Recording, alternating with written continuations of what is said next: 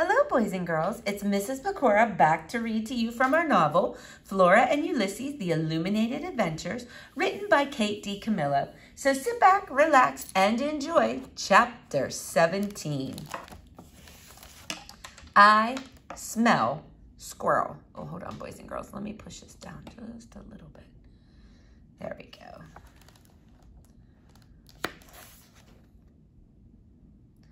There was a boy at the door. He was short, and his hair was so blond that it looked almost white. His eyes were hidden behind enormous dark glasses.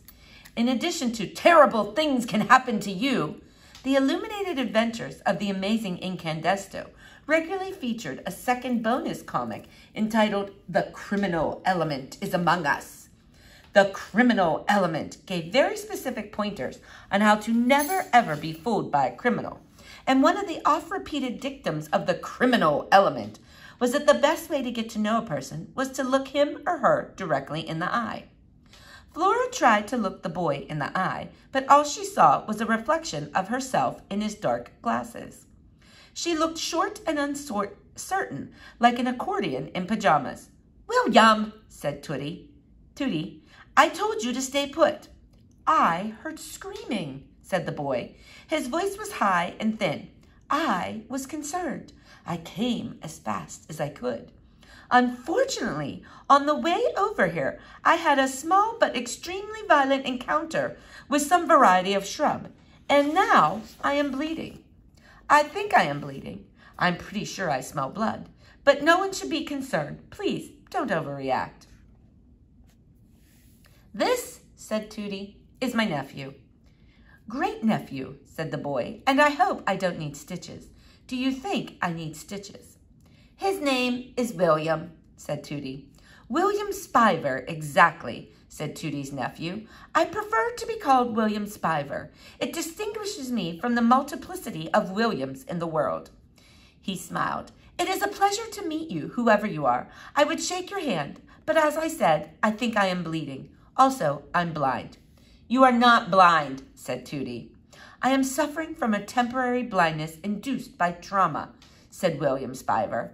Temporary blindness induced by trauma. The word sent a chill down Flora's spine. Seemingly, there was no end to things that could go wrong with human beings.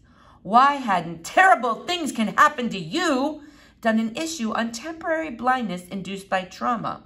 Or, for that matter, on one, one on extended hallucinations.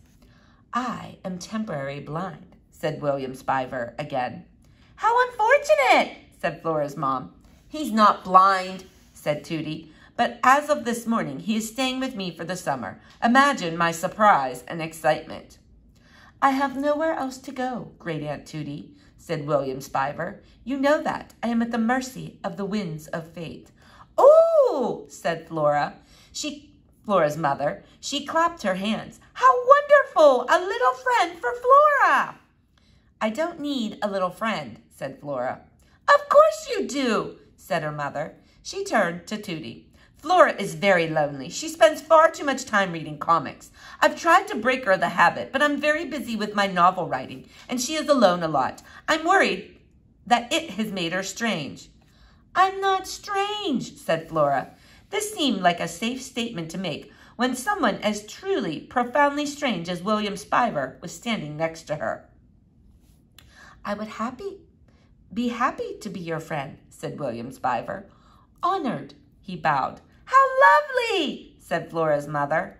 Yes, said Flora, how lovely. The blind, said William Spiver, even the temporary blind, have an excellent sense of smell. Oh, for heaven's sake, said Tootie. Here we go. I have to tell you that I smell something out of the ordinary, something that is not usually smelled within the confines of the human domestic sphere, said William Spiver. He cleared his throat. I smell squirrel. Squirrel? Confronted with the spectacle of William Spiver, they had forgotten about Ulysses. Flora and her mother and Tootie all turned and looked at Ulysses. He was still on top of Mary Ann. He had managed to balance himself on the small blue and green globe that was at the center of the lampshade. That squirrel, said Flora's mother. He's rabid diseased. He's got to go. Chapter 18 A Scientific Adventure. Why don't you let me take the squirrel? Tootie said to Flora's mother. I'll just return him to the wild. If you can call the backyard the wild, said William Spiver. Hush up, William, said Tootie. She reached out for Ulysses. Don't touch it, shrieked Flora's mother. No without gloves. It has some sort of disease. If you could just get me some gloves then, said Tootie, I'll pluck the squirrel off the lampshade and whisk him out of here and set him free. The kids can come along. It will be a scientific adventure. It doesn't sound very scientific to me, said William Spiver. Well, said Flora's mother, I don't know. Flora Belle's father is coming to pick her up for their Saturday visit. He'll be here any minute now, and she's still in her pajamas. Flora Belle, said William Spiver. What a lovely, melodious name. It will just take a minute, said Tootie in a low, soothing voice. The kids can get to know each other. I'll get you some gloves, said Flora's mother. And so, now, here they were, walking over to Tootie's, getting to know each other, or something. Tootie had on a pair of dishwashing gloves that went all the way up to her elbows. The gloves were bright pink, and they glowed in a cheery, radioactive sort of way. In Tootie's gloved hands was Ulysses. Behind Tootie was Flora, and next to Flora was William Spiver. His left hand rested on her shoulder. Do you mind, Flora Belle, he said, had said, would it trouble you terribly if I put my hand on your shoulder and allowed you to guide me back to Great Aunt Tootie's house? The world is a treacherous place when you can't see.